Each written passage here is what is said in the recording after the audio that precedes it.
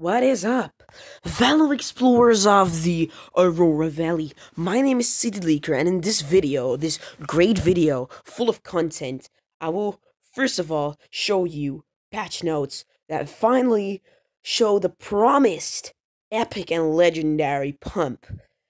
And just let's jump straight into that. Um, the firearm adjustments. We added a new epic and legendary quality S1897S. We've also adjusted the values of the S1897.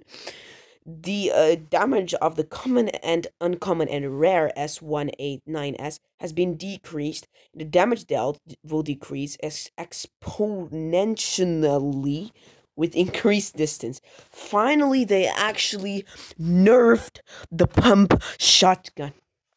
And then two, the UMP 9 submachine gun's damage has been slightly increased. Yeah, it was kind of needed. Like the UMP was like really like not used by anyone. The Uzi submachine gun damage has been uh, increased, as has its scatter. Alright, so it is more bloom and stuff.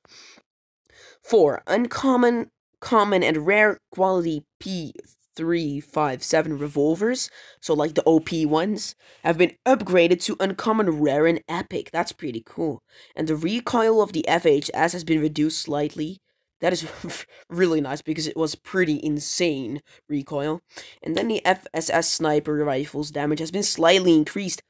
And I think that is really a nice thing that they did because I think it was really necessary because these three this these three weapons that they've just buffed and I think they really needed a buff because literally no one used the FSS, VSS, I said, and I really like new rarities of the pump. It kind of gives content a little bit, but like as you can see on the last three patch notes, there's no content at all. That's why I'm making just challenge videos just to make y'all happy.